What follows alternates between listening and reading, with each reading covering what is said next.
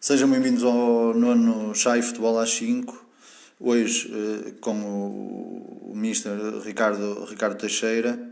Uh, só referenciar outra vez que temos a página do, face, do Facebook Chai Futebol às 5. Podem fazer like. Temos também uh, do YouTube Chai Futebol às 5 e meter follow.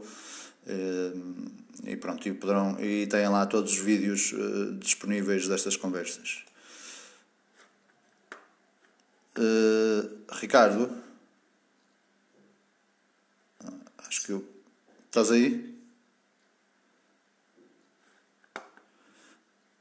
Estou com alguns problemas de, de internet. Ok, já cá tenho o Ricardo.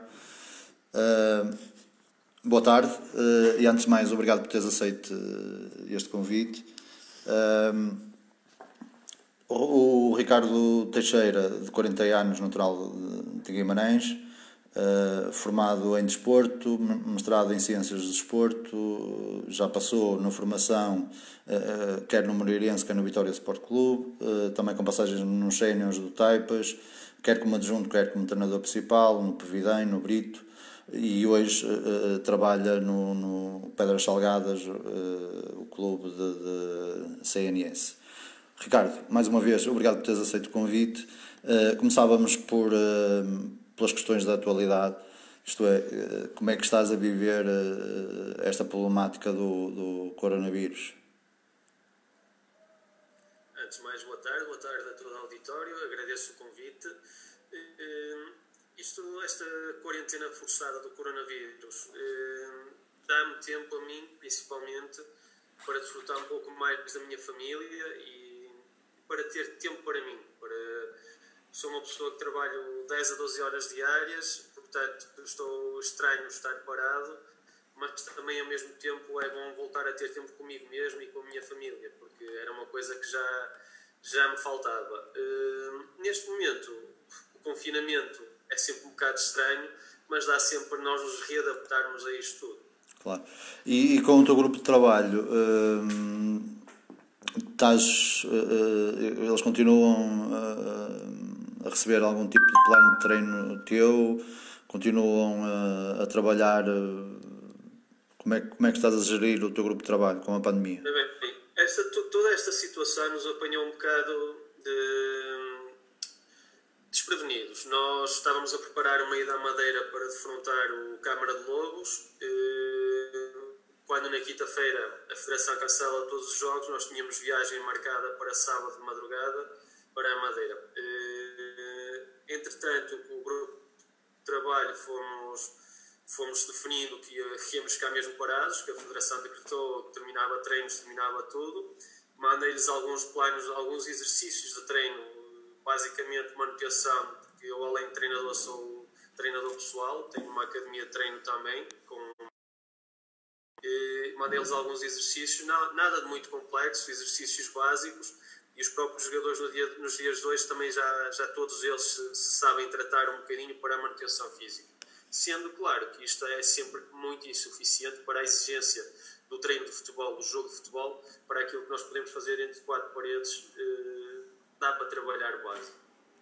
Muito bem. Uh, mas achas, achas que, que o quadro competitivo uh, do Campeonato Nacional de Séniores uh, com esta pandemia, achas qual é a tua opinião em relação à, à, decisão que a Federação possa vir a tomar? Eu presumo que se calhar para muito breve.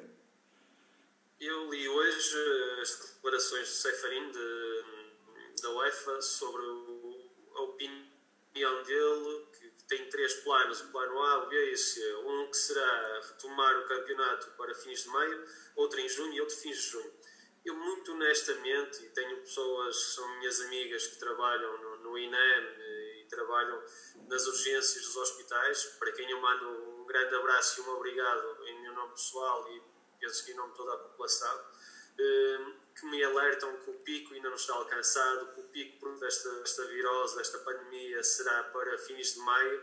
Logo, eh, todas essas projeções que a Federação UEFA façam vão cair por terra.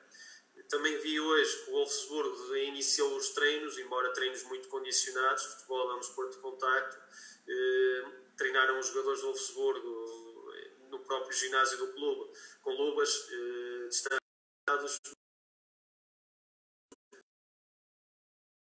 A minha opinião pessoal, isto não deixa de ser meramente a minha opinião pessoal, penso que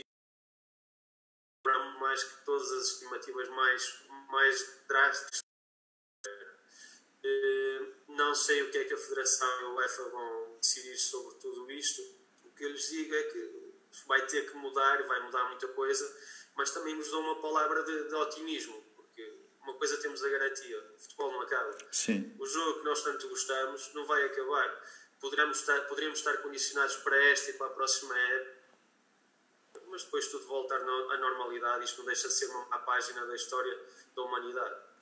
Eh, mas achas que a decisão da, da Federação Portuguesa de Futebol referente uh, uh, à formação, à formação, por exemplo, achas que foi a mais apropriada? Sim, a formação, a Federação optou por na, na formação cessar todos os campeonatos, não há subidas, não há descidas. Uh, em Inglaterra, os campeonatos amadores foram todos cancelados e terminados conforme estava a classificação ao momento. Seja a decisão da Federação para um lado para o outro, nunca vai ser consensual, nunca Isso, vai ser, nunca sim. vai agradar a toda a gente. Eh, eu, eu acho sempre que o próprio calendário como já estava é muito injusto. Isso é uma coisa que já foi discutida.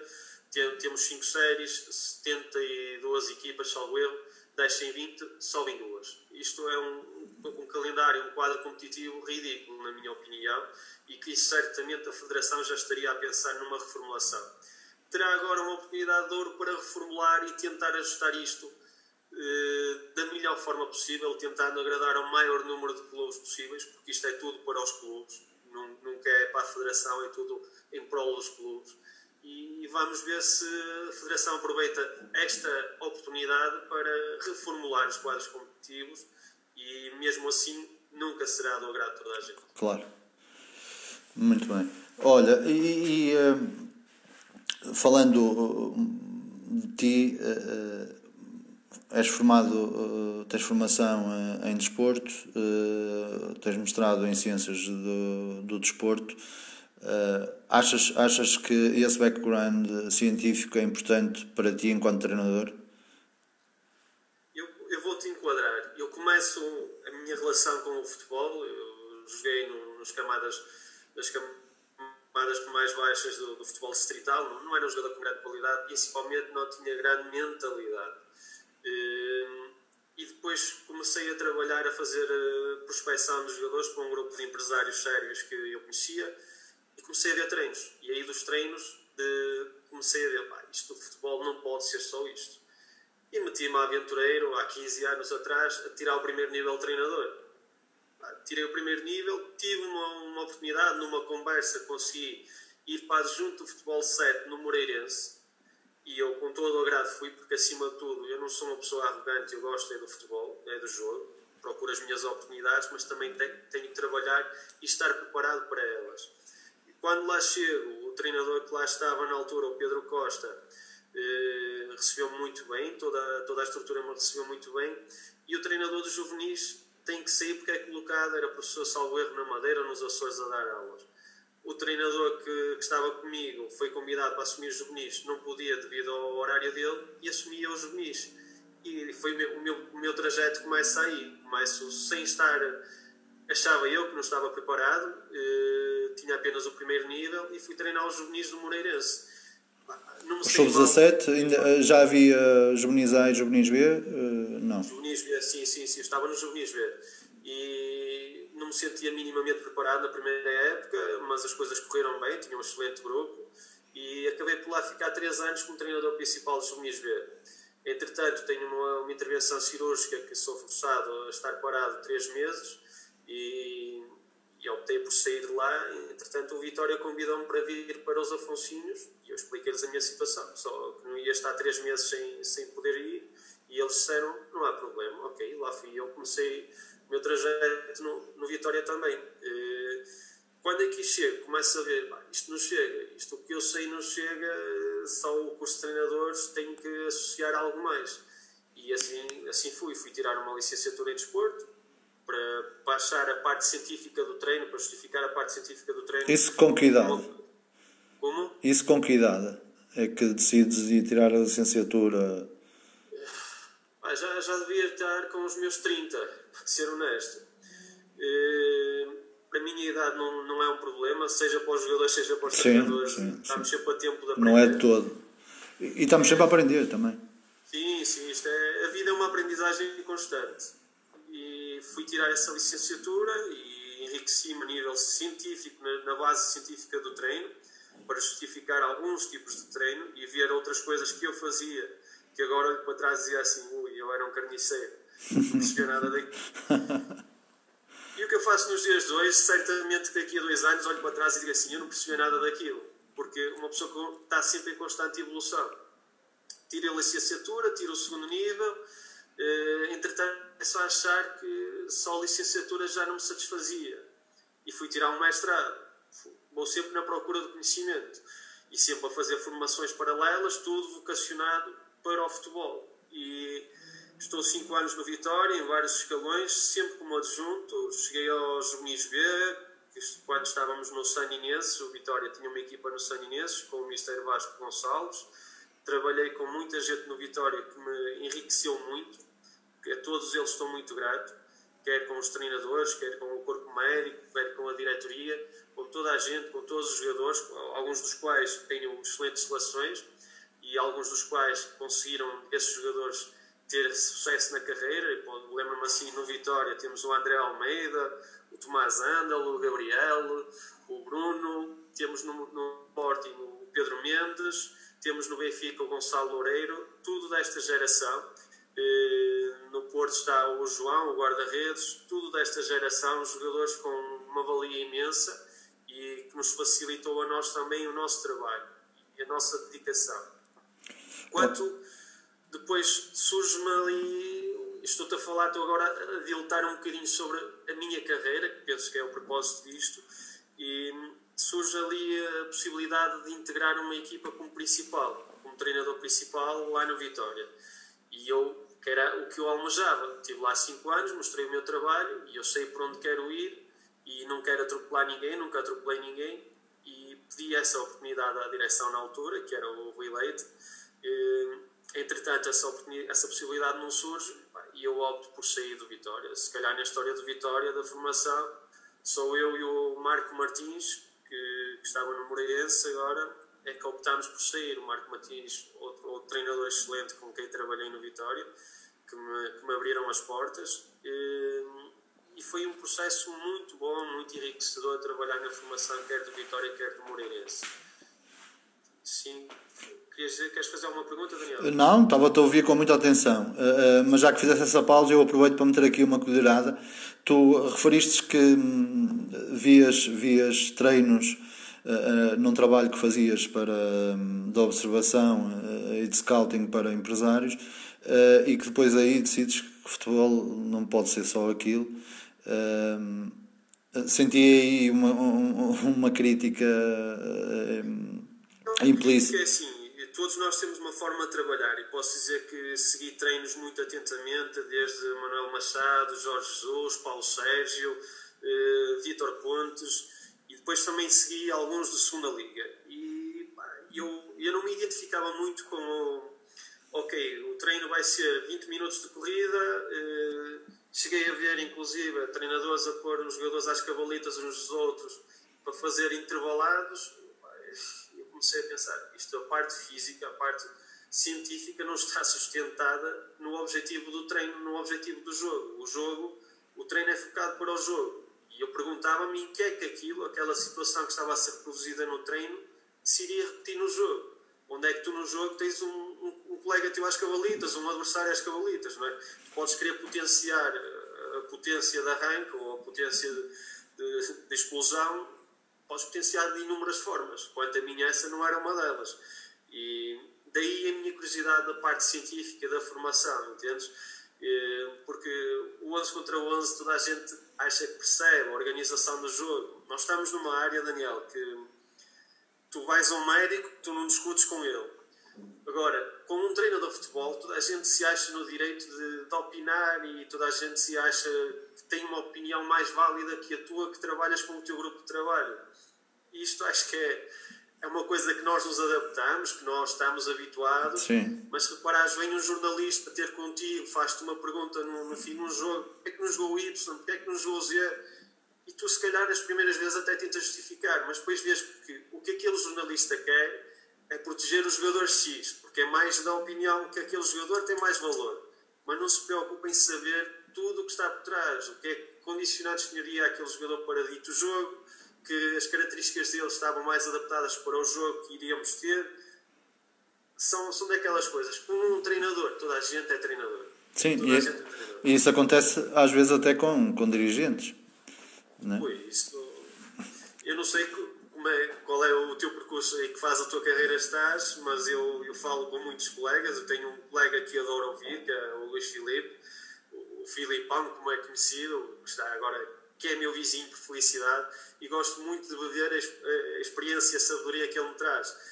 E ele diz muitas vezes que os diretores, quando esteve na Arábia Saudita, mesmo agora na China, muitas vezes tentam imiscuir do trabalho do treinador. Claro. E que aí o treinador tem que ter uma personalidade e um pulso muito forte e uma segurança muito forte. Que é para saber delimitar as coisas. Você trabalha até aqui, daqui para aqui é o meu trabalho, daqui para aqui você não se. Agora, dizes isso a alguns diretores e oh, isso é complicado. Tens de ter um jogo de cintura muito grande. Sim. E também tens de saber, acima de tudo, a realidade que estás inserido. Muito bem. E esta passagem pela formação, depois uh, na chegada aos séniores, uh, de certeza que foi importante teres feito este percurso pela formação e depois, ao chegares aos séniores, se calhar, digo eu, estás muito mais preparado para, para a realidade sénior. Eu vou-te dizer, o, o percurso na formação foi muito enriquecedor porque deu-me coisas e deu-me ferramentas que se eu começasse nos sénios não as tinha. É a mesma coisa, a mesma situação que se me disseres agora, olha, vais treinar a Primeira Liga. Eh, se calhar financeiramente e a nível de currículo seria bom ir para a Primeira Liga, mas eu não estaria preparado para a Primeira Liga. Isto é, nós treinadores também temos de ter a humildade de perceber que isto é uma escada, uma escadaria. Tu tens de percorrer um degrau de cada vez. O que me deu a formação deu-me muita base para trabalhar com os séniores mais tarde. Quando chego ao Taipas, eh, vou para adjunto de um treinador que eu nem conhecia, o Fernando. Lhe agradeço ter-me aberto as portas também para ele. Eh, e cheguei lá, para mim foi um choque. Foi um choque porque não, não te digo que os jogadores de Taipas não tivessem qualidade. Agora, havia coisas que para nós no Vitória eram, eram adquiridas, eh, processos de técnica de base, por exemplo, de um jogador, uma recepção orientada, orientação dos apoios, que tu chegas ao escalão mais alto do distrital e vês vários jogadores que não têm essa com debilidades, com debilidades, não é? Porque nunca foram estimulados para tal. Ou seja, tu queres fazer um tipo de trabalho, queres, até o teu próprio modelo de jogo fica logo condicionado, porque o base do futebol é o passe e a recepção. E se o teu jogador evidencia algumas, algumas dificuldades no passe e na recepção, tudo o resto vai, vai descambar. Sim, isso leva-nos a outra, a outra discussão, que é eh, onde é que deveriam estar uh, os melhores treinadores uh, e que no futebol português, isto já é uma afirmação minha, não estão. Não é? No futebol de base deveriam estar os melhor, muitos bons treinadores para preparar depois os jogadores para as fases seguintes. E eu acho que nós temos um problema no futebol, no futebol de base, porque vejo muitos colegas nossos a querer ganhar, quando se calhar o, mais importante não é de todo ganhar, mas sim aprender. Uh, eu, diz, eu vou-te dizer, vou-te fazer uma citação do, do, do, responsável máximo da coordenação do futebol jovem do Ajax, que é uma referência para mim, o Ajax o Bayern Munique são referências para mim. Ao contrário desta tendência que há muito de Barcelona, eu sempre segui mais esses clubes. O, o coordenador da formação do Ajax disse numa palestra que eu assisti, disse o seguinte, nós formamos jogadores, não formamos museus a nós não nos interessam os troféus, interessam-nos que o jogador, quando chega aos sénios, saiba exatamente o comportamento que tem que ter e tudo o que tem a fazer. Isso para mim é, é a chave de tudo. E os clubes têm que definir bem claramente, quando contratam um treinador, perfil desse treinador. Enquadra-se no nosso clube, mesmo para a formação. É um treinador que busca o resultado. Nós queremos resultado, ok, é o treinador certo. É um treinador que busca a evolução do jogador, a evolução qualitativa do jogo, ok, é isto que nós queremos, queremos formar jogadores. Depois é outra coisa que o futebol tem. O futebol, tu ouves falar constantemente em projetos. Mas quando tu te sentas com algumas pessoas e perguntas qual é o projeto, as pessoas só te sabem dizer é a meta do projeto, não te sabem dizer toda a carreira ou tudo o que querem fazer até o projeto. Sim. Os clubes em Portugal, na minha ótica, desperdiçam muito tempo e muito, muito dinheiro em projetos que não existem. Porque tu dizes assim, eu quero ser uma referência no futebol nacional. Como? Como é que tu vais fazer do teu clube uma referência? É contratar jogadores estrangeiros? É constantemente estás a mudar o teu grupo de trabalho? Ou é criar uma base, como fez agora a Atalanta? A Atalanta tem um projeto de 8 a 10 anos. Sim. E aquele projeto, que está agora toda a gente a elogiar, iniciou assim. Ok, vamos apostar no que temos cá, vamos valorizar o que temos cá, que é para quando chegarem cá acima serem estes a nossa real mais-valia, ser este o nosso dinheiro. E aí está.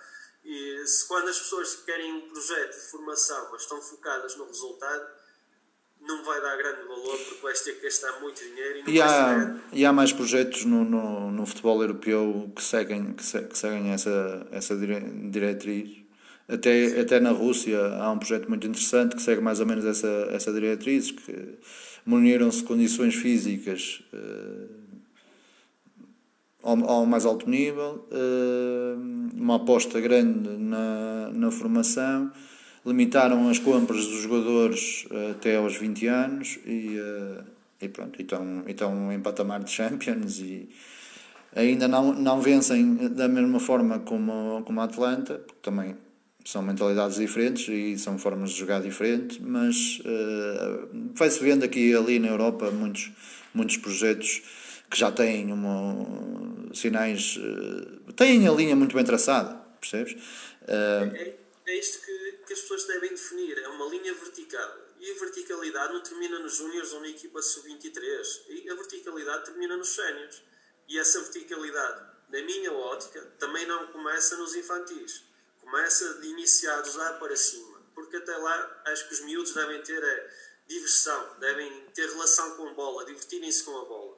Tendo já alguns subcontextos e subprincípios bem definidos, mas o principal, o foco do jogador tem que ser a bola. Claro. Se na, na base os miúdos estão preocupados, eu posso dar um exemplo aqui, há 10 anos atrás estava a assistir a um torneio em Vila Real Santo António, um dos maiores torneios de futebol jovem em Portugal, agora não me recordo o nome. E estava a ver lá um treinador que se virava para um jogador que era infantil a dizer bascula, bascula. a minha pergunta é esta: o que é que um infantil quer saber da organização coletiva, da basculação? Infantil que tem a referência da bola, da baliza, não precisa de mais. Ele começa a pensar um bocadinho no adversário. Se o miúdo ainda precisa de olhar para a bola, o que é que ele tem de saber que bascula a relação entre. São coisas. A mim custa-me um bocadinho, entendes? Claro. E, e ainda a tua pergunta do, dos melhores treinadores devem estar na formação isto, não, quanto a mim, não há o melhor ou o, melhor, ou o pior treinador. Sim, tu percebeste, sim, tu percebeste a direção, não é? Pelo menos os mais, os mais preparados para trabalhar hum, o futebol base, percebes? Uh, isto é, é assim, nós em Guimarães, deixa-me só, só para te perceberes, nós em Guimarães, por exemplo, temos uma competição que, que eu acompanho quase todos os anos, uh, da Liga Mini. Uh, e tu olhas para os treinadores todos que estão na Liga Mini, todos ou quase todos, não, não são todos, certeza absoluta, mas quase todos, e vês uma preocupação uh, ridícula de ganhar. Eu, eu lembro que o ano passado, infelizmente, uh, só pude assistir a um jogo, só pude assistir a um dia e fui, e fui assistir e vi um treinador espetar com pai com 3 a 4 garrafas de água, estamos a falar de Benjamins B. Percebes? Portanto, 8 anos. A espetar pai com 4 ou 5 garrafas de água no chão, aos berros para o banco, para o banco, eh, feedbacks lá para dentro, todos negativos, todos de destruição do, do, do miúdo, e os pais, a equipa estava a ganhar um zero, uh, e os pais todos contentes, porque a equipa estava a ganhar um zero. Eu se lá o meu filho, eu acho que lhe davam um subir e dizia: Olha, sai do campo, vamos embora, isto por hoje chega. Uh, e, e, é sobre estas questões que percebes, que tipo. Daniel, se calhar, olha, se calhar não é um mau treinador, não está aí no contexto certo. É isso que eu, é isso, é isso que eu estou a dizer, é perceber se ele tem o meu perfil para trabalhar o futebol de base, estás a perceber? E eu, como te disse, passei pela formação e uma pessoa tinha aquela ilusão de que ok, eu estou num clube, eu até quero subir na minha carreira, quero ir para outro clube, como é que os clubes olham para mim? Se eu ganhar, na minha ótica, agora estou mais acima, os clubes não vão olhar para ti se tu ganhares, os clubes vão olhar para ti se tu apresentares uma ideia de jogo interessante, os teus jogadores cumprirem a tua ideia de jogo e os teus jogadores evoluírem tecnicamente e taticamente do início até ao fim da época. E Acreditas nisso? Tens essa eu, convicção? Eu vou dizer, tu estás a trabalhar no Vitória, correto? Sim, mas uh, não, não, não metas o foco em mim, por favor. Não, não, não, não. eu vou, vou dizer, tens aí pessoas no Vitória, como o Rodrigo Mata, como o Camilo, que eu sei que vêm pá, centenas de jogos durante uma época. E esses, se falares com esses, se as pessoas responsáveis falarem com esses homens, esses homens vão saber identificar aqueles jogadores que evoluíram. E se tu, num contexto de uma equipa de 7, 10 jogadores, tens 5 jogadores que evoluíram, tu forçosamente vais pensar assim: porra, este treinador faz alguma coisa bem. Com certeza. Oh, Ricardo, mas eu não estava a falar. Certo, mas a questão aqui, porque isto eh, é essencialmente uma conversa, portanto, o, o objetivo do programa é mesmo isto: é discutir, eh, discutir ideias. Uh, por exemplo, distrital, achas que um presidente de uma distrital, de um clube de uma distrital, olha para a tua identidade, para a tua forma de jogar, para a forma como tu potencias os jogadores. Eu não, atenção que eu não estou a dizer que não haja presidentes que não façam isso. Porque há, eu até conheço alguns. Mas são muito poucos. Percebes? Vão olhar, tipo, o que é que ele ganha, o que é que ele ganhou, hum, que jogadores é que conhece, que jogadores, percebes? Tipo... Aí já nos levará para outra temática que é a seguinte. Hum, o jogador de futebol chega a sénior no mínimo com 10 anos de formação.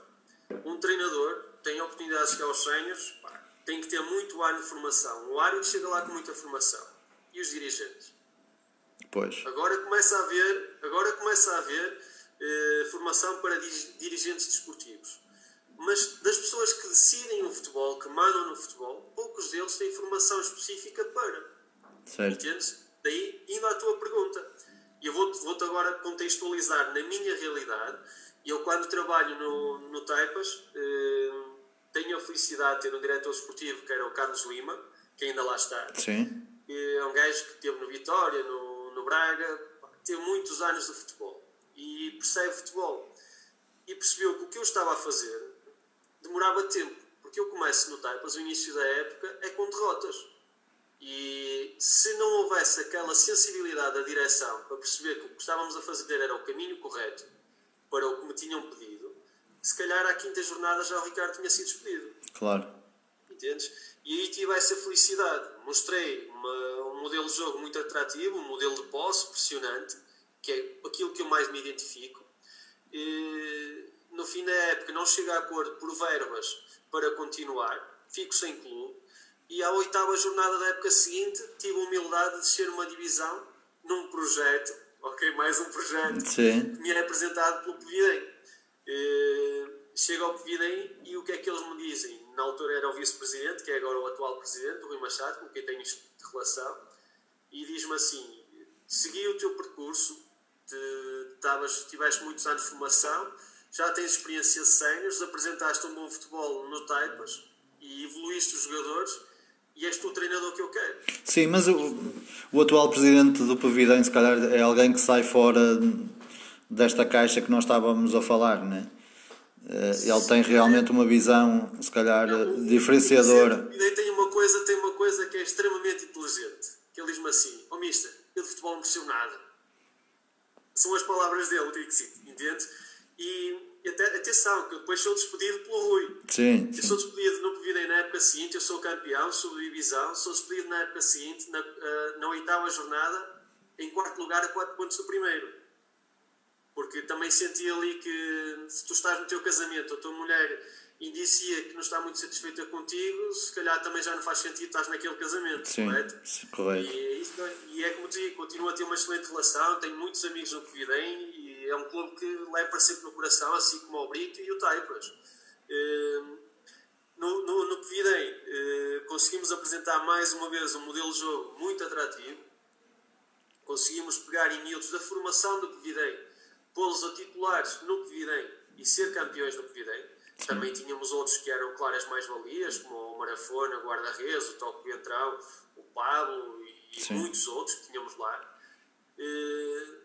Quando saio do Covidem, depois vou, apanho um barco à 14 jornada no Brito. E o Brito estava ali, tinha um plantel com algumas quesilhas internas, alguns problemas internos, uma direção, uma excelente direção, uma direção que fazia para não te faltar nada desde o presidente, o Ricardo Pizarro, desde o, o Miguel, desde o do Gentil, pessoas muito presentes, muito presentes. O próprio coordenador da formação estava sempre preocupado se podíamos levar os jogadores acima, que o Francisco okay?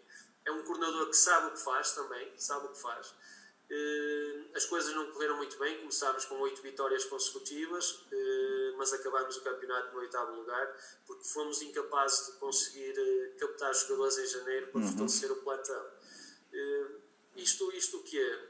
O que me trouxe, o que me faz chegar até ao CNS, não foi nada mais, nada menos do que a minha ideia de jogo e tentar pô-la em prática, entende? Bem, estamos Estamos com algum problema na ligação. Uh... Limitações no plantel. apanhei um plantel que tinha dois jogadores uma época para a outra. Mas estávamos agora em crescendo e agora sim começávamos a ter mais.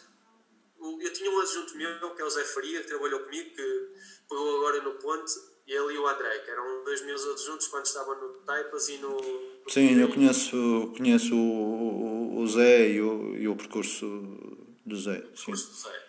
Ehm, e o Zé dizia-me assim: opá, já se consegue ver o Ricardo naquela equipa a jogar. Isso são, são coisas que para mim me agradam. Que é, tu vês uma equipa e vês assim, opá, vês o Manchester City, já vês ali um dedo de Guardiola. Sim. Vês o, um dedo, uma mão, duas mãos, os pés. Mas, mas isto, isto são aqueles treinadores que nós todos conhecemos, mas o Ricardo, o Daniel, criar uma ideia de jogo no futebol jovem, criar uma ideia de jogo nos teus jogadores, nas tuas equipas, no distrital, para mim isso é que é aquilo que te vai valorizar. Não vão ser tanto os títulos quanto isso. Porque já vi muitos, muitos treinadores com muitos títulos, pá, tu vês a ideia de jogo deles e é muito curta. Mas lá está, são titulares. Claro. E tu não. Claro. Agora, te perguntas, no fim de uma época que o jogador saiu titulado de lá o que é que ele evoluiu, o que é que ele valorizou. Pá, se calhar aí já começa Olha, a... Ricardo, nós temos aqui feedback de, de, de algumas pessoas uh, que eu gostava, gostava de ler. O Pedro Souza diz boa tarde aos dois, excelente discurso sobre futebol. Infelizmente as debilidades começam nos escalões inferiores, mas quando os treinadores chegam aos escalões de futebol de 11 e não se preocupam em potenciar determinados fatores nos jogadores, dedicam-se exclusivamente à tática e colonar equipas séniores. Esses jogadores chegam a sénior e muitos uh, têm dificuldade em fazer uma simples recepção a passe. Os treinadores têm de perceber que a formação é um processo, um processo contínuo. Abraço. Pá, pronto, já falamos sobre isto. E o Miguel uh, Afonso diz: uh, Daniel, concordo contigo, com toda a estrutura de futebol de formação, não valoriza o treinador de formação. Uh, isto, isto, por acaso, é uma boa questão. Achas, achas que uh, a estrutura de, de, de, futebol de formação não dá o devido valor ao treinador que trabalha com essa própria. Oh, Daniel, começa logo numa coisa muito básica. Treinador de formação está aí em alguns clubes aqui da AFIA de Braga, ganha 50 euros. Quanto a mim, isso é ridículo, porque tu gastas muito dinheiro na tua formação pessoal, na tua formação académica, na tua formação enquanto treinador e perdes e despendes muito tempo pessoal e tem que haver um, um atrativo que não pode ser os 50 euros ou os 100 euros, entendes? Isto começa logo assim. Se Mas não achas que, que, que, a responsabilidade aí será também da, da própria classe? Oh Daniel, tu imagina assim, tu começas a tua carreira, és um miúdo que estás recém-licenciado, tens 24, 25 anos. Tu queres é uma oportunidade, nem te importas trabalhar de graça, entendes? Mas esse é o problema, ou não? Diz? Mas esse é o problema. É um dos problemas. Agora, as próprias direções têm que ver uma coisa. Um treinador que já está no campo, um treinador que já deu provas e que está na formação a trabalhar, que nós gostamos dele, temos que o valorizar e começarmos a valorizá-lo logo no que lhe pagamos. E depois vêm outras coisas, porque normalmente, eu como te disse, na formação só tive dois excelentes contextos, que foi o Moreirense e o Vitória. Eh, tínhamos uma grande estrutura por trás. Mas conheço muitos casos, muitos treinadores que têm que eles tratar de encher as bolas, têm que tratar de procurar patrocínios, têm que levar e buscar jogadores. Isso logo aí, estás a condicionar o teu treinador. Claro. Logo estás a fazer o teu treinador chinelo. Claro. Eu trabalhei oito anos na formação, portanto é uma, é uma, é uma zona à qual eh, eu tenho um especial carinho. Gosto muito de formação. Uh, e, e, passei por uh, realidades completamente diferentes completamente diferentes ambientes completamente diferentes mas não tive a oportunidade de trabalhar em clubes como o Vitória nem, nem como o Moreirense mas a realidade é que esta questão da não valorização do, do, do treinador sempre ia sentir na formação, percebes? Portanto, no, no, no restante, evidente, tiveste, tiveste em realidades uh, boas, mas no resto dos clubes, percebes? Não se sente, não se sente esta valorização. Com a exceção, talvez, do meu último ano, em que saio a faltar 5 ou 6 jornadas uh, uh, abandono e estava na formação e nesse mesmo ano sou convidado para ingressar na, na, na equipa dos séniores, percebes? Foi a única vez em que eu senti que realmente houve valorização do trabalho, isto é, e lá está, também havia, há um denominador comum aqui nesta, nesta história, que foi o Carlos Lima, em conjunto com, com o Mr. Zé Augusto, que viam os treinos que eu dava e achavam que eu tinha ali potencial para foi a única altura em que eu senti verdadeiramente isso, percebes? Uh, também, pronto, no, no Santo Olau era treinador e recebo o convite do presidente para ser coordenador do, do, de todo o projeto, aí tal, talvez tenha sentido. Mas são exceções, percebes? É, é isto que eu te digo, são exceções porque eu falo com muitos treinadores e sinto em todos esta falta de oportunidade por não valorização do trabalho, percebes? Agora há exceções, como é evidente concordo, eu concordo com isso porque também passei por isso e passei por esse dilema de opá, eu não vou ganhar nada. Por exemplo, o Moreirense, eu estava, estou numa equipa B, o que é que eu vou ganhar numa equipa B? Não vou ser campeão, não vou ganhar a taça. Vais preparar os jogadores para a equipa A. E isso foi o meu trabalho, isso foi o meu foco. O meu foco foi sempre um. É o meu modelo de jogo, valorizar o jogo, o clube e o jogador. Claro. Independentemente de ser o, o treinador, o Ricardo, o Quinho Zé. O futebol tem que se focar em valorizar o jogo e o jogador. E eu, neste momento, perguntas um treinador de formação. Eu nunca deixei de ser um treinador de formação. Eu continuo a trabalhar, olha, no Pedras Salgadas, continuo a trabalhar regularmente, vou buscar júniores para trabalhar connosco. Se me perguntas se vejo lá a qualidade, e, pá, e vou dizer assim, no Pedras Salgadas, interior, que é muito difícil arranjar jogadores, captar jogadores, vejo lá miúdos com muita capacidade, mesmo nos júniores. E a minha média de idade do plantel sénior tem jogadores com 19 anos, com 20 anos, que estão a jogar jogos titulares. Eu, a idade para mim não, não interessa para nada, entendes? E é por isso que eu digo, eu nunca deixei de ser um treinador de formação. E se tiver que voltar à formação, não tem problema nenhum em voltar à formação. Se me dizes sou aconselhado por isso, quem me ajuda, quem, quem eu peço conselhos, pá, claro que não sou, porque a nível de carreira dizem, ah, tu tens que estar nos sénios. E sabes qual é a minha resposta para isso? Mais uma citação de Luís Filipe: carreira enquanto a bancária. Pois. Carreira enquanto a bancária. pois é. Olha, uh, Alexandra Leite uh, manda um abraço para os dois. Uh, acho que diz que trabalhou contigo nos Júniors do Taipas.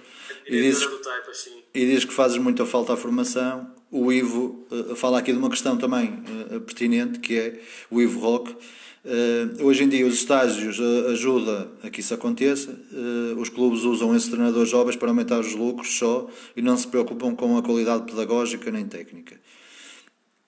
E depois temos o, Pedro Souza. Qual é, na vossa ótica, serão as funções do diretor da formação e qual a função do, do, do coordenador. Pá, nós temos falado muito, muito de formação, eu também quero passar esta parte, esta parte à frente, porque quero eh, falar do, do, do Ricardo no contexto de séniores e, portanto, uh, vamos deixar esta, esta parte da formação, porque senão estaríamos aqui a hora toda e, uh, e não temos tempo para isso tudo, que já só temos mais 20 minutos. Ricardo, depois há esta chegada aos séniores, não é? já, já desenvolveste muito bem a passagem pelo Taipas, pelo Bidanha e Brito. Epá, como é que surge o pé, o das Salgadas? Ok, já percebemos que eles procuravam alguém que fosse capaz de, de colocar a equipa a jogar um futebol atrativo, que fosse capaz de, de potenciar as qualidades eh, individuais dos jogadores. Um, mas como é que surge isso? Um, via empresários, o, contacto, o clube eh, entra em contacto contigo, como é que isso surge? Olha, basicamente estou a fazer o estágio de terceiro nível da UEFA, que estava a fazer nos Júniores do Taipas, com mais uma vez agradeço ao Taipas e ao professor Rogério Rodrigues, que foi meu coordenador no Vitória nos Afonsinhos. Uhum. Era ele o treinador dos juniores de Taipas e abriu umas portas para fazer o estágio de terceiro nível da UEFA no, nos juniores, tinha que ser em contexto de campeonato nacional. E eu estava um bocado saturado, não queria treinar ninguém e aí surgiu esse, esse, essa possibilidade e assim o fiz. E o meu tutor de estágio era o Ricardo Silva, que está agora a treinar o FAF, que na altura era o treinador do Pedras Salgadas. Sim o Ricardo já nos conhecíamos também, do tempo do Vitória. Que vai ser nosso convidado também uh, dentro de dias. Pá, gente boa, gente muito boa. E o Ricardo, o presidente, o Ricardo diz ao presidente que vai sair e põe o meu nome, porque eu sabia que ia para um projeto, posso dizer que foi o projeto mais aliciante e mais desafiante de toda a minha curta carreira, foi este, porque quando apanhas um plantel que tem apenas dois jogadores que tinham um orçamento reduzido porque sentia uma coisa que nunca tinha sentido no futebol, que é a interioridade. Tu conseguis arranjar jogadores para ir eh, dos grandes centros urbanos para Pedras Salgadas, que fica ali eh, perto de Vila Real, eh, não é fácil. Quando tu perdes uma hora e meia de viagem, ir e vir, quando gastas na estrada quase 200 euros, logo isso encarece o jogador e conseguis arranjar jogadores para lá não foi fácil. Tinha um plantel de dois jogadores, um guarda-redes de 20 anos e o, o capitão que era um e o momento produzido para a realidade em que estávamos. Foi muito complicado, formámos um plantel e só, só agora estava relativamente satisfeito com o plantel, agora em fevereiro para te ser muito honesto, só agora é que tinha 20 jogadores no plantel. Pois. Para tu veres a realidade. Tinha alguns jogadores emprestados, tinha muitos jogadores jovens, que era o primeiro contacto que tinham com senhos, tinha muitos jogadores que não tinham a mínima noção que era esta divisão. E a equipa teve um crescimento. Que é, que é um ano muito especial do CNS eh, na Série A, não é? Uh, é um ano muito especial, portanto, eu acho que é um ano extremamente difícil a Série A do, do CNS. Muito competitivo, Bastante. Tens, tens equipas muito fortes. com uma qualidade imensa. Tens o, o Vitória B, o Braga B, o Marítimo B, o Chaves B, tens equipas como o FAF, o Bizela, o União da Madeira, são equipas muito fortes. O próprio Verso.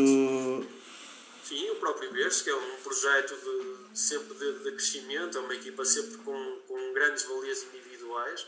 Ehm, e nós fomos o quê? A primeira, a primeira volta nitidamente foi fraca, fizemos uma primeira volta fraca, não Sim. conseguimos apresentar um grande, grande modelo de jogo, mas agora estava a equipa já mais formatada e estávamos a fazer, posso dizer que nos últimos nove pontos tínhamos feito sete, íamos agora jogar a casa do último.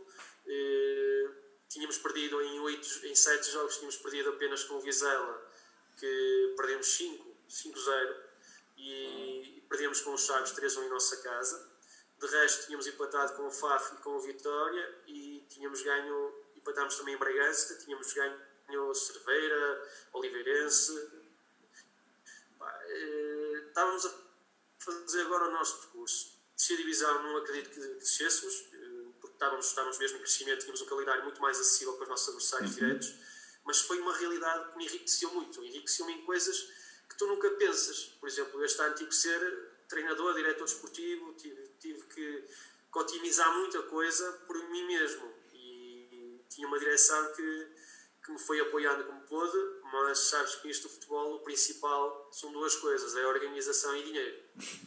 E se falhar alguma dessas é complicado. Claro. Graças a Deus nós posso dizer que temos tudo em dia. Há muitas equipas do, nosso, do Campeonato Nacional Séniores que não têm tudo em dia.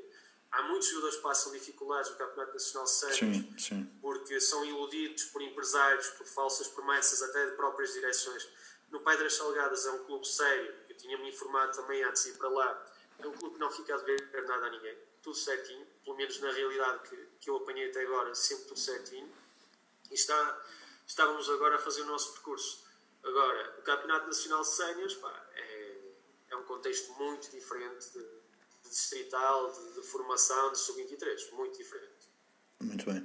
Eu, eu, concordo muito com isso. Eh, acho que, que realmente o, o CNS, eh, a qualidade. Eu vi alguns jogos do CNS.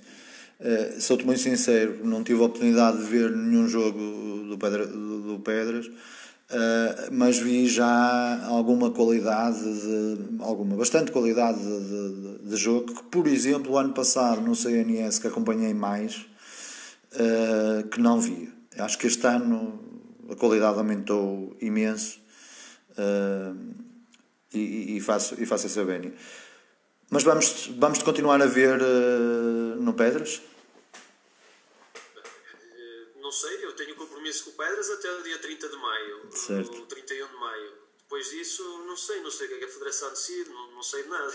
Mas não, não tem havido conversas em relação a, a essa temática? O clube não tem. Não, o Pedras é um clube muito peculiar e o presidente já me tinha avisado disto. O Pedras é um clube que só para junho é que tem.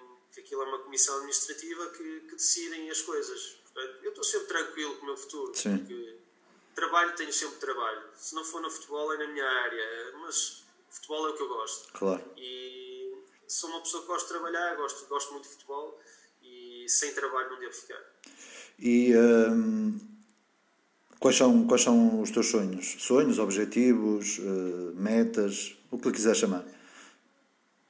Ao contrário da generalidade dos treinadores, todos querem ir para clubes ingleses, espanhóis, que, que joguem Champions eu sou um bocadinho diferente. Eu gosto, o meu sonho, aquilo que eu almejava era ser selecionador.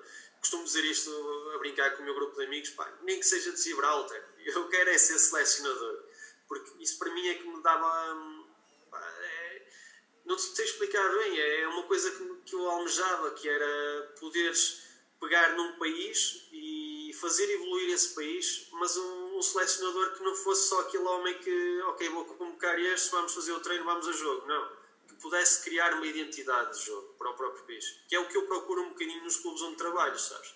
Que é também criar uma, uma identidade de jogo vertical. Eu falo, por exemplo, mesmo no Pedras, e todos os clubes onde eu, onde eu passei podem confirmar isso. Eu gosto muito de falar com o treinador de júniores e com o coordenador da formação, porque eu nunca encaro os projetos para um ano só. Eh, por acaso, até agora na minha carreira sénior foi sempre um ano. Eh, eu encaro sempre os projetos para a frente. E, e esse para a frente tem que implicar tu deixares de ver jogadores fora e começares a ver jogadores na casa. E para isso tem que toda a gente estar em sintonia e o trabalho ser vertical. Muito bem. Uh, mas achas é, é realmente uma resposta uh, fora da caixa também, completamente fora da caixa, isso das, das seleções. Uh, mas provavelmente para chegares, para chegares a, a, a, esse nível tens obrigatoriamente, digo eu, pelo menos não tenho conhecimento, que alguém chegue lá sem passar pela Primeira Liga. Não, não, não. É eu não tenho conhecimento. Eu vou fazer no meu, eu vou fazer no meu trajeto sem pressões, sem sem calcar ninguém acima de tudo, mantendo uma seriedade, entendes? E quando chegar essa oportunidade, lá estarei. Até poderei dizer que não é essa oportunidade, porque gosto muito do que faço, mesmo em clubes. Mas um dia é aquele, tu se te perguntarem na tua carreira, quando chegares lá ao topo, queres chegar para a Champions. Eu não, eu quero chegar no topo, quero chegar às seleções. É o meu, o meu objetivo. Uh, agora, ainda tenho muito para trabalhar em muitos clubes, ainda tenho muito, muito para desbravar, porque ainda não sou ninguém no futebol.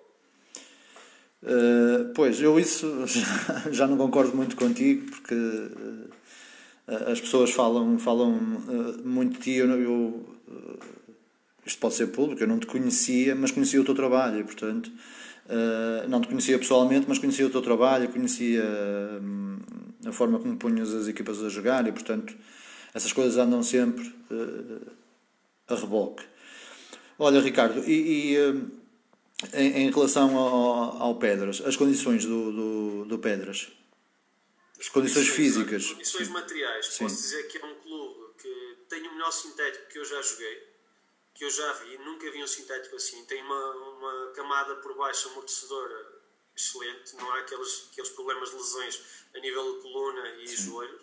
Uh, as instalações uh, sanitárias são, são, são razoáveis.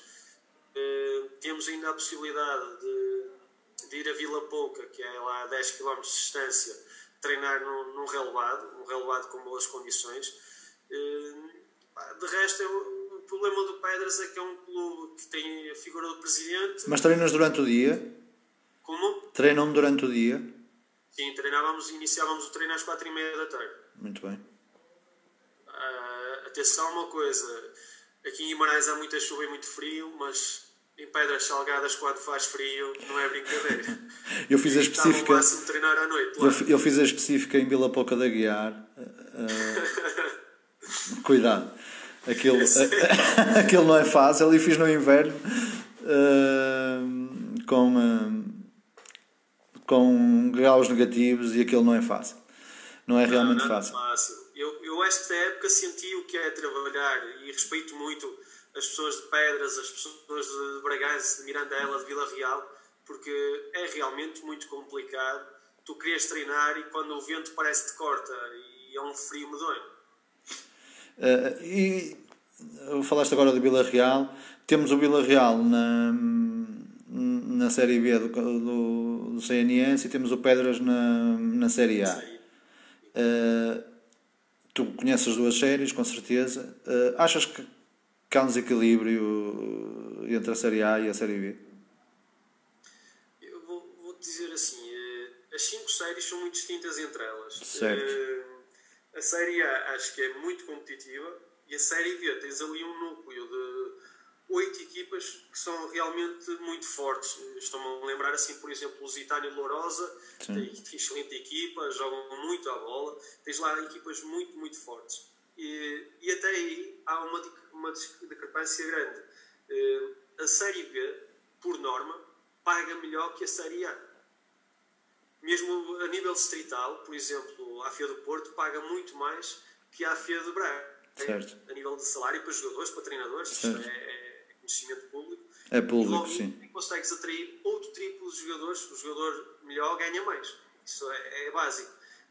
No entanto, este ano, a Série A conseguiu atrair jogadores muito bons, de nível muito alto, porque, presumo eu que seja por isto, porque tinhas equipas como o Vitória, como o Braga, que conseguem atrair esse tipo de jogadores, que se querem mostrar para essas equipas. E depois tens uma equipa como o Vizela, que tem um investimento medonho, tem um excelente treinador, um excelente plantel. Posso dizer que eu tenho quatro jogadores emprestados pelo Vizela. Quatro miúdos. Claro. E que, que, me ajudam muito, têm muita qualidade, mas que no Vizela não tinham lugar. Eh, e há, há, há realmente ali diferenças. A nossa série é muito competitiva. Tens aqui, sei lá, oito equipas que em qualquer jogo podem, podem ganhar o jogo seja em casa do Vitória, seja em casa do Braga. Uh, tens jogadores, olha, estou-me a recordar, por exemplo, no Braga, tens, jogou contra nós o David Carmo Central, passado duas semanas estava a jogar contra o Sporting no Sénior. Claro, claro. Tu vês a valia dos jogadores, é, há jogadores com uma valia de Primeira Liga, não estou sim, a bater cores, são jogadores de Primeira Liga. Sim, se nós, se nós observarmos com atenção, os clubes da Primeira Liga cada vez mais eh, fazem scouting nos clubes CNS. Portanto, isso é uma realidade, já acontece há alguns anos. Sim, não sei se será por princípio ou por necessidade. Será o misto dos dois. É, esta, esta época, se calhar, eh, toda esta, esta situação da, da pandemia, se calhar vai obrigar mesmo os clubes a olhar para dentro em vez de olharem para fora, porque a nível de patrocínios e tudo, vai falhar muito dinheiro este ano no futebol português. Também também estou, tenho essa opinião. Acho que vai ser um, a próxima época, aconteça lá o que acontecer a esta, a próxima época estará eh, marcada por, eh, por esta pandemia também. e, uh, e o dinheiro vai ser escasso em, to em toda a economia, mas no futebol acho que, que se vai sentir bastante. O que terá as suas vantagens e terá as suas desvantagens, não é? Vamos ver. É, de, às vezes, no meio da, da cinza, nasce a fênix. Claro. No meio da cinza se consegue construir coisas boas. É o que eu te disse no início da conversa. Está aqui uma oportunidade para a Federação eh, recalibrar os calendários. Eu não estou a ver, eu não estou a ver eles a conseguirem mexer no, no quadro competitivo do CNS. Eu não, não estou satisfeito. Pois não, mas eu não sei quais são as hipóteses que eles terão, percebes? Isto é para os clubes. Hum, há sempre hipótese. E para os próprios clubes vai ser uma forma também de se reinventarem. E mesmo porque acredito que até os fundos, os próprios fundos do, do governo, os fundos camarários que muitos clubes recebem, que vão ser encurtados. Logo os clubes vão ter que se reformular, reinventar completamente. Sim. Sim. Pode ser aqui uma oportunidade de ouro para o jovem jogador, principalmente que estão nas camadas jovens com, com, com alguma valia, e para os jogadores de CNS se mostrarem muito. Sim, sim, faz sentido. O que está a dizer faz todo sentido. Uh, pronto, Ricardo, nós estamos uh, a chegar aqui à, à, à parte final. Tenho aqui só duas questões. Uh, a Alexandra diz que gostava mesmo eh, de saber a tua opinião sobre isso, que é a importância de, dos diretores uh, versus a não valorização do, do, dos clubes, desses mesmos diretores. De, acho que ela aqui está a falar da formação. E depois também, e, e respondes às duas, uh, se a adaptação do treino às temperaturas, às temperaturas que nós estávamos a falar, eh, de inverno, eh, onde estás a trabalhar, eh, se pode condicionar o rendimento no próprio treino? Esta Sim. pergunta é, sobre o, é do Ivo. Vamos começar pelo, pelo treino. acima de tudo, tens que reajustar a tua forma de trabalhar. Enquanto tu num clima mais quente ou mais ameno podes dar pausas maiores, ali tens de ter uma pausa mais curta. Ali tens de ter muita atenção aos tempos de paragem, mesmo para a instrução tens que planear e instruir o jogador logo tudo, se calhar para o exercício, para o treino todo, eh, tudo bem delimitado. Não pode haver grandes tempos de paragem, porque a paragem, se calhar, põe-te um jogador doente, põe-te um jogador com gripe. Por acaso, eh, falaste aí de uma questão pertinente. Uh, com, com temperaturas negativas, uh, tu davas. Uh, mostravas o plano de treino aos teus, aos teus jogadores e explicavas os exercícios na cabine dependia do, do, do treino. Eu, sou um treinador que tenho o meu microciclo base e depois evito repetir treinos, evito repetir exercícios. Chegas a um ponto, eu posso dizer que terminei, quando a época terminou, tínhamos 100 e, 140 unidades de treino, uh, alguns exercícios começas a repetir. Uh, há exercícios que já são padronizados, têm algumas nuances, e esses exercícios diz ao jogador, pá, é o exercício X, com esta condicionante e este, este. O jogador já sabe. Sim. Depois vamos passar para aquilo. E ali em dois minutinhos dás a instrução toda. Depois chegas ao campo, claro, tens de fazer uma revisãozinha. Claro. O jogador esquece, não é? Passas 15, 15 minutos num exercício. Agora, acima de tudo, é teres cuidado com o tempo de paragem, o teres cuidado, por exemplo, uma coisa que, que retirei bastante do meu treino, era uma coisa que eu usava muito, o alongamento. O alongamento ali em cima não pá, é 30 segundos à tua vontade e vaza para o banho. Pois. Depois fazia eram os treinos de flexibilidade. Flexibilidade, sim. E, e, e entramos aí, entrocamos aí no, noutra questão. Qual é a tua opinião sobre. Porque há, há várias correntes que falam sobre os alongamentos e são. Ah, eu sou, sou mais uma vez um gajo fora da caixa. Eu sou um gajo da área do desporto que te vou dizer assim: eu não acredito muito no alongamento. Pronto. Pronto, é isso. Acredito em flexibilidade. eu sou dessa, eu sou dessa corrente. Flexibilidade é uma coisa diferente. Estamos a falar de coisas diferentes. Eh, eu sou dessa corrente. Eh, o meu treino não tem alongamentos, nem que esteja 30 graus, eh, porque não vejo mais valia nisso. Pronto, era, era, era uma pergunta até bastante pessoal, porque há realmente uma nova corrente de treinadores que diz que realmente não faz sentido. Se calhar arranjas arranjas treinadores que dizem que faz todo sentido. Pois, é isso, é isso. É, exatamente, cada um tem a sua. Uh, eu acho que trabalhar a flexibilidade é, é importante, uh, alongamentos. Uh, temos aqui o, o, Miguel Afonso a dizer aleluia com letras gigantes, que há treinadores que pensam como ele. Portanto, pá, passou a nossa horinha, eu tinha-te dito que isto passava, passava rápido. Quero, mais uma vez, em nome todo do programa, o programa, pá, isto é uma conversa, chamar-lhe programa é um termo abusivo, mas não tenho outra palavra para, para chamar a isto. Uh, Agradecer-te imenso teres aceito o convite, uh, desejar que te mantenhas a salvo desta pandemia a ti e a, to e a toda a tua família e uh, que quando aparecer, quando voltar o nosso futebol, que o futebol te encontre bem e, opa, e felizes onde quer que estejas a trabalhar. Muito obrigado. Obrigado e parabéns pela iniciativa, Daniel. Muito obrigado e obrigado a todo o auditório. Ok, muito obrigado. Forte abraço. Obrigado. E pronto, e foi o Chai Futebol às eh, 5 com, com o Ricardo com o Ricardo Teixeira.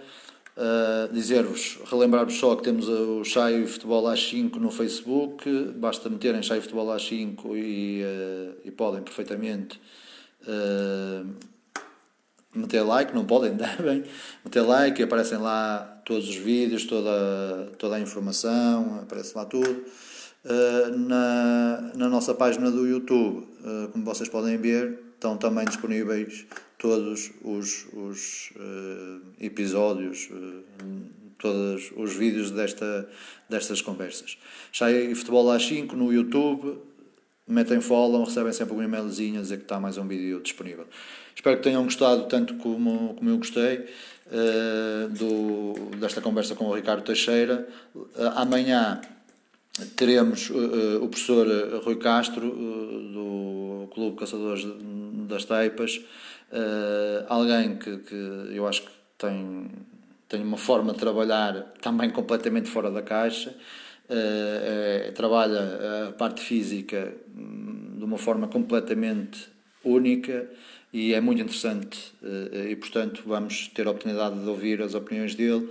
Até amanhã e forte abraço.